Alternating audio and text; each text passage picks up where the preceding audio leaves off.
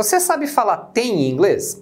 provavelmente você vai falar que é have. Você não está errado, porém não é sempre assim. Existem várias situações que em português a gente fala o verbo ter, mas em inglês eles não usam have. Então nesse vídeo eu vou te mostrar oito situações em que isso acontece. So, let's get started. Antes de começar, deixa eu te fazer uma pergunta. Você tem dificuldade em entender o inglês falado por um nativo? Pois é, muita gente tem essa dificuldade, principalmente porque eles juntam, emendam, cortam as palavras e fica parecendo uma emboleira só. Para resolver isso, nós criamos o curso Spoken English, que é um curso onde eu ensino todas essas reduções e junções do inglês falado no dia a dia. Em breve a gente vai abrir as inscrições para a próxima turma do curso Spoken English. Se você ficou interessado, quer saber mais detalhes, é só você acessar o nosso grupo VIP do WhatsApp, tem o link aí na descrição do vídeo. Aí é só aguardar a abertura do grupo. Lá no grupo mesmo tem a data da próxima turma. Agora, voltando ao verbo ter, quando que a gente deve usar o have para dizer ter? Isso é muito simples. Você vai usar have quando você está falando de posse, você está falando que a pessoa possui alguma coisa,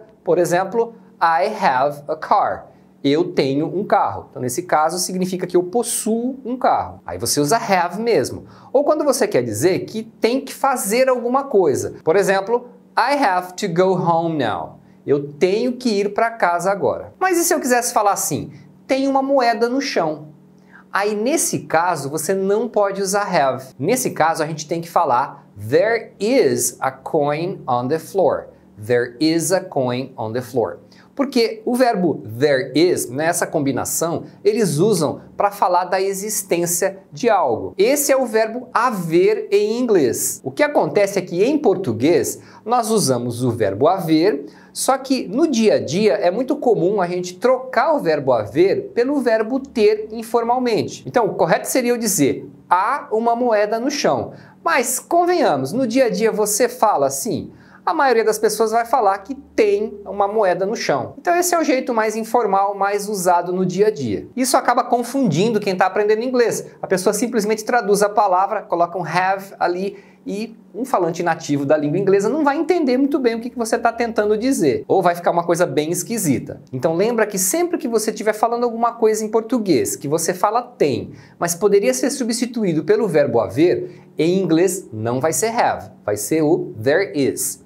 Pode ser também o there are, caso seja plural, porque em inglês eles têm singular e plural para o verbo haver. Então, there is é o a ou tem no singular, there are é o a ou tem no plural. Se eu fosse falar aqui, tem muitas pessoas aqui. Como pessoas é plural, é people, então eu tenho que falar there are a lot of people here. There are a lot of people here. Então, nunca use have nesse tipo de situação. Só uma observação aqui é que você vai ouvir no dia a dia algumas pessoas usando there is, que eles costumam abreviar para theirs, mesmo no plural. Então, não é incomum você escutar alguém falando There's a lot of people here, que tecnicamente não é correto, porém você vai escutar as pessoas falando porque é mais simples, mais rápido. Como eu sempre falo, a linguagem falada sempre tem as suas características bem específicas. Se eu quisesse falar não tem mais café, significa que não há mais café. Então em inglês eu tenho que falar there's no more coffee. There's no more coffee. Não tem problema, ou seja, não há problema.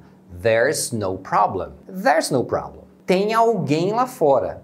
There's someone outside. There's someone outside. Tem algumas latinhas de refrigerante na geladeira. There are some soda cans in the fridge. There are some soda cans in the fridge. Nesse caso eu usei there are porque é plural, né? Soda cans. Então, there is e there are são as formas do verbo haver em inglês no presente. Porém, o verbo haver em inglês tem outras formas em outros tempos verbais. E se você quiser aprender todas as outras formas do verbo haver em inglês, eu vou deixar um vídeo aqui no card onde eu explico tudo isso. Outra situação que a gente usa o verbo ter em português, mas eles não usam have, é quando você fala de idade. Se eu for perguntar a sua idade, é comum a gente falar quantos anos você tem. Só que em inglês eles não falam uma frase igual essa. Eles falam How old are you? How old are you? Que literalmente seria o quão velho você é. Mas enfim, essa é a frase que eles usam para perguntar a idade. E quando você vai responder a sua idade, você também não usa have. A gente fala eu tenho tantos anos, mas em inglês você vai usar o verbo to be. Você fala I am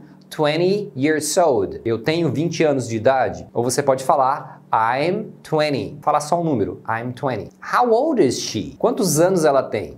She's 12. She's 12. Ela tem 12 anos. Bom, ainda tem mais seis situações que você não deve usar o have em inglês, mas se você está gostando do vídeo, já deixa seu like aí pra gente, porque isso ajuda o vídeo a chegar a mais pessoas que precisam aprender inglês. E aproveita, já se inscreve aí no canal também, se você ainda não é inscrito, porque eu publico dois vídeos por semana pelo menos. Estando inscrito, você não perde nenhum. Próxima frase é quando você quer perguntar ou dizer que você tem certeza. Então, em inglês, eles não usam have para esse tipo de frase. Por exemplo, você tem certeza?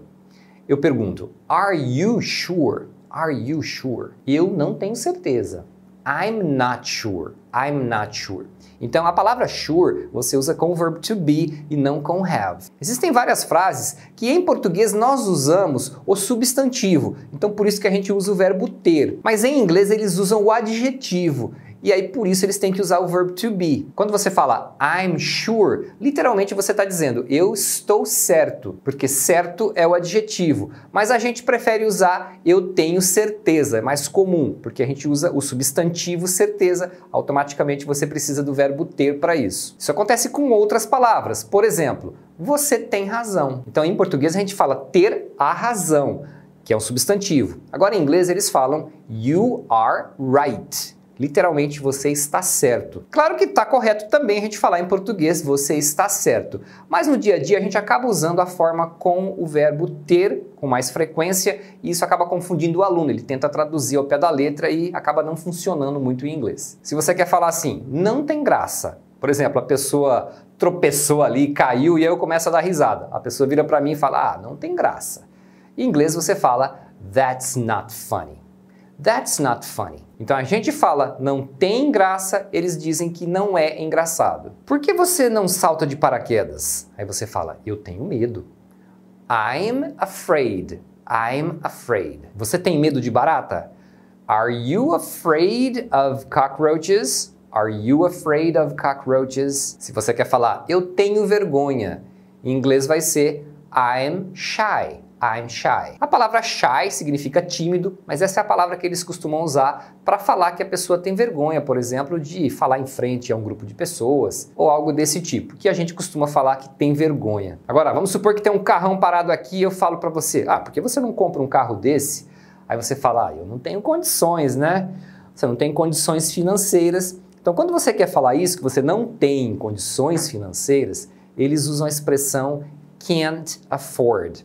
Então você vai ouvir as pessoas falando, né? A pessoa responderia aqui: I can't afford. I can't afford. Poderia dizer também: I can't afford a new car. Eu não tenho condições de comprar um carro novo. Você pode inclusive acrescentar o verbo comprar ou não. Você poderia dizer: I can't afford to buy a new car. I can't afford to pay that much. Eu não tenho condições de pagar esse tanto, esse valor. Então o can't afford você pode usar sozinho você pode acrescentar os verbos como to buy ou to pay. Então é assim que eles falam não ter condições financeiras. E se você lembrar de algum outro exemplo que a gente fala ter em português, mas eles não usam o have, deixa nos comentários para a galera aprender. E eu vou deixar aqui do lado aquele vídeo que eu falei, onde eu ensino as outras formas do verbo haver. So that's it for now, guys. Thank you for watching and I'll see you next time.